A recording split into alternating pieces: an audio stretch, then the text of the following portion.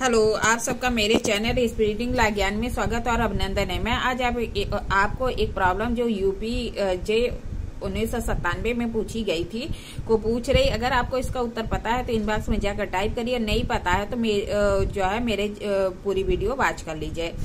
का ख को जहाज़ डूबने के पश्चात समुद्र में तैरते हुए एक तख्त को पकड़ा, जो कि इतना बड़ा नहीं था कि दोनों का बोझ उठा सके।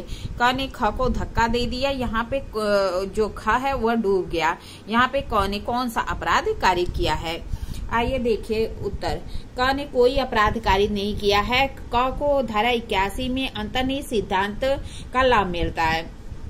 जिसे आवश्यकता का सिद्धांत भी कहते हैं, उसका लाभ मिलता है क को, इसलिए उसने कोई अपराध नहीं किया। मानव बध जो परिस्थितियों में न्यानुमत हो सकती है, आवश्यकता जो कि व्यक्तिगत प्रकृति की है, आवश्यकता क्या है? जो कि व्यक्तिगत प्रकृति की है, आवश्यकता जो कि लोक, न्याय और सुरक्षा से संबंधित है। मतलब आवश्यकता जो व्यक्तिगत प्रकृति है, आवश्यकता जो लोक न्याय और सुरक्षा से संबंधित है। पूर्वोक्त वह आवश्यकता है जो किसी व्यक्ति को आत्मरक्षा या संरक्षा के लिए बाध्य करती है। मतलब कह रही है कि यह वह आवश्यकता है जो किसी व्यक्ति को आत्मरक्षा या संरक्षा के लिए बाध्य करती है।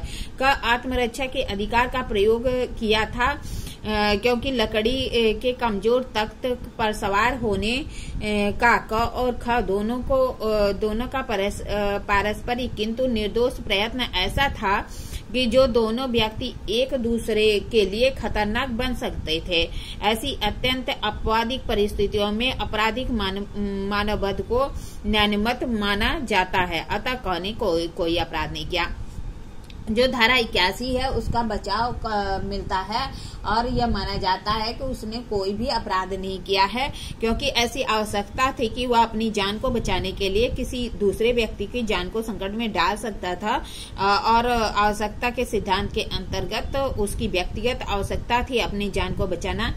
अगर उसने आ, क्या किया कि तख्त इतना बड़ा भी नहीं था कि दोनों का भार उठा सके। और का ने अगर खा को धक्का दे दिया यहाँ पे जो का है वह जो है खा की मृत्यु के लिए कोई भी दायी नहीं होगा। उसे आवश्यकता का सिद्धांत का लाभ मिलेगा और उसे उसने कोई अपराध नहीं किया है। धारा इक्यासी का संरक्षण उसे प्राप्त होगा। इस तरह मैंने आपको प्रॉब्लम बताई प्रॉब्लम का सोल्यूशन बताया। ऐसी अच्छी अच्छी प्रॉब्लम के लिए मेरा चैनल सब्सक्राइब करिए लाइक और कमेंट करिए।